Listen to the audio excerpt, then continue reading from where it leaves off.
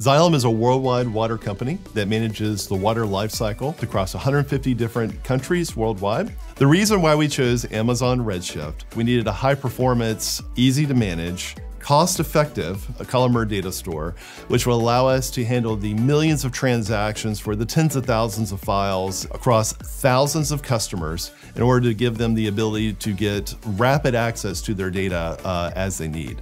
Additionally, we need to be very sensitive to data governance, uh, provisions in legal contracts, as well as data privacy laws. Every day we handle thousands of customers' data which results in millions of transactions. And we designed our system in such a way that our target is in five years to be able to handle billions of concurrent transactions that come into the system over time. My team implemented a product that's called the Xylem Data Lake, formerly known as the Sensus Utility Data Lake. So what we do is we take these thousands of customers that we have and we actually spread them across a number of Redshift clusters across three different geographies. That allows us to be compliant with things such as like GDPR, California Data Protection Act, and a number of other data privacy laws that are being evaluated by different countries worldwide.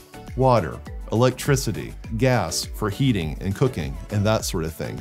And those needs are only going to be greater as populations grow. By being serverless and on Amazon uh, Web Services, and specifically Redshift, so that's a huge advantage. That way we can minimize any impact to our customers, uh, our own internal operations, and give people the abilities to manage the things that are most precious to us in the world.